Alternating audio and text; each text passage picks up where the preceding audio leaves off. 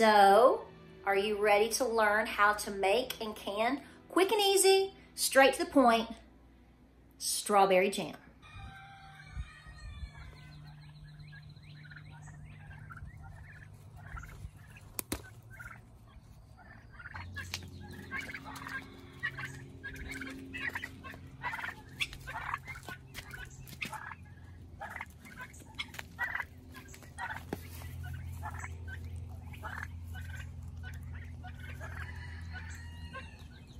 So hey guys, I am finally making some strawberry jam. This is gonna be just some highlight points about canning. When people start to learn how to can, I always recommend they learn how to water bath. Uh, and some of the easiest things for them to start with are simple jams like strawberry or peach, or in the fall when you want to make maybe pear or apple butter. Pickles are easy too, but honestly, this is the this is about as easy as it gets. Now, let me give you a few quick tips on the strawberries. Every, you know, folks do it differently. That's fine. So let me show you what I do. Okay, so just to say, when I have a strawberry, I like to cap them, which means I take off the green part and I take off as little as possible, okay? Because I want to keep as much of the white or the pith right there with the strawberry as possible. And then I just cut them into fourths, no big deal. Right now what I'm doing is I am just trying to get them going with some heat and I'm simply going to be adding um, some sugar. Now, I am not going to be going by a specific recipe here. Some people use a lot of sugar. Some people use very little sugar. Some people don't use sugar at all. Some people choose honey. It's up to you. So find a recipe that works for you. Uh, so I'm going to be adding sugar. You can see it's getting hot. I do not add water. It's typically not necessary. I like my strawberry jam very chunky, very thick uh, as much as possible. So that is what we're going for here. So I'm simply going to be taking the potato masher and I'm going to be mashing it up and I'm going to be adding the sugar. If I need to add a little bit of water, I will, but a lot of times you don't. So basically we're just going to be just mashing it, adding sugar, and jamming it up. That's the first step that we're going for. So you can see here, it's starting to get hot and I'm smashing it up just like you would your uh, mashed potatoes. And I'm going to be adding lemon juice at this point with the sugar, okay? Um, a lot of recipes, depending on amounts, will call for about a fourth of a cup. I'm gonna go for about a half, a little bit more, to try to help it set. That helps set the jam. And I'm going to be adding, I'm gonna start with four cups of sugar, which that may be a lot for you, but I think that's gonna be a good start and I'm just going to continue to work this. And then, of course, we're going to be water bathing, like I said, your strawberry jam. This is why this is so easy. Some people add extra pectin. I probably won't. I'm just wanting to get this done today. Um, I've done I've done it both ways. It's each their own, okay, y'all. Y'all do what you want. Sure-Jell or whatever, however you want to do it. Now, I'm not making jelly. I'm just making jam. And like I said, I like thick, chunky, brass monkey jam.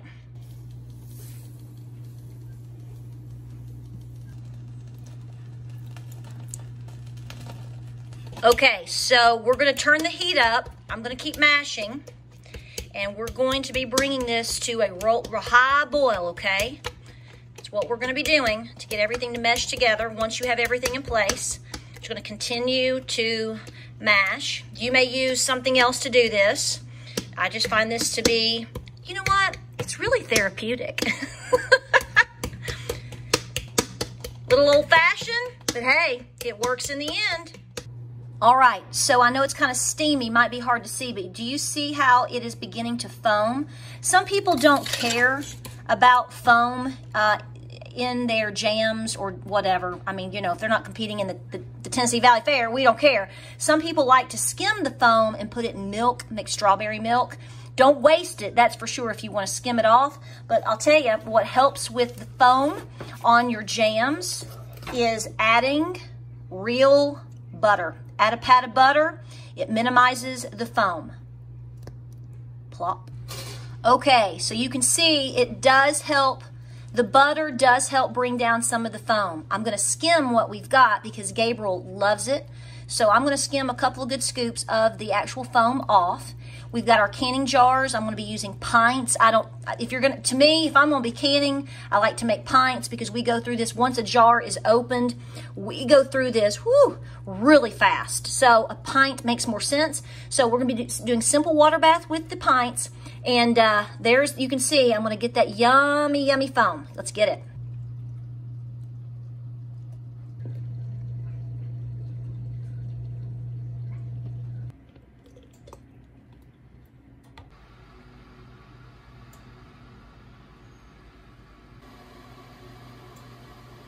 Okay, we are ready to go into the water bath. I'm gonna set them up on top of the rack for a minute and then submerge them. We gotta move fast because everything is hot, okay? Everything. So we got seven pints, exactly. You're gonna have one fourth of headspace on your jams, okay? So we did that, got that all correct, and then we cleaned the rim with the white vinegar with a clean cloth, added the actual flats or the lids as we call them, your clean rings, and we are ready to roll. We got to get rocking and rolling. You are going to water bath these once it gets rolling at for 10 minutes, okay? That's what, for my altitude, 10 minutes. Let's rock and roll, people. Just a special note, I had to add a little bit of water because once I finally got the uh, pint jars submerged in the water, I needed a little bit more. You need the water to be an inch over the jars. So they're about to start boiling up. And from that point, once we get comfortable and we have our right temperature going, we will go for the 10 minute mark. And then I will turn off the oven, excuse me, the stove top, not the oven. I will turn it off. And then what I do is just wait a minute and then I'll pull my jars up, just let them sit. I don't just yank them out of the canner. They kind of have to adapt to the temperature. So let's put the lid back on and get rolling. All right, here we are just a couple of hours later. The jars are warm, but they're not hot, so I can pick it up. So what I'm gonna do is let these jars, these beautiful jars sit, all seven pints sealed. I'm gonna let them sit till tomorrow, just let them rest. Then I will remove the ring, clean up the jar if I need to, just wipe around real easy. And then I will actually store the rings separately after I wash them. You know I do not leave rings on my jars. If you watch my videos, I, I don't do that. Now, if you were to regift something that you've canned, like anything, this apple butter, this is great for Christmas gifts. Ugh, in December, this is wonderful. Um, you want to put the ring back on because you're going to be giving it, gifting it, uh, transporting it. But for general storage in the pantry, take the rings off, okay? So you can avoid the potentials of having any false seals or any issues, okay? But these did beautiful. This has to be one of the best batches I've made in a long time. Gabriel was a little upset that he couldn't have a little bit extra. Every bit of it went into the pints. So if you're looking to can, if you've never canned, like I said, start with water bathing. And right now, the easiest thing to, to get into is clearly going to be strawberries. Tomatoes are easy. Pickles are easy. If you pickle any, like dilly beans or whatever, it's easy. Peaches are good. But the quickest, easiest thing, in my personal opinion, is strawberry jam because you can just whip these strawberries up and get going, okay? If you were to start in the fall, obviously your butters are going to be something that I recommend, such as your apple butter or your pear butter. That won't happen till more like September into October around here, and it's divine too, but nothing beats strawberry jam. All right, guys, we appreciate you watching. This is just a quick and easy video. There's a lot of tutorials and, a, and wonderful blogs on how to can your basic items such as strawberry jam, but we appreciate you being here. I got it done. We walked through it. Hope you're feeling good. Hope you're busy. I know you're tired. It's a very stressful time, and we're making the best out of it by staying very, very busy.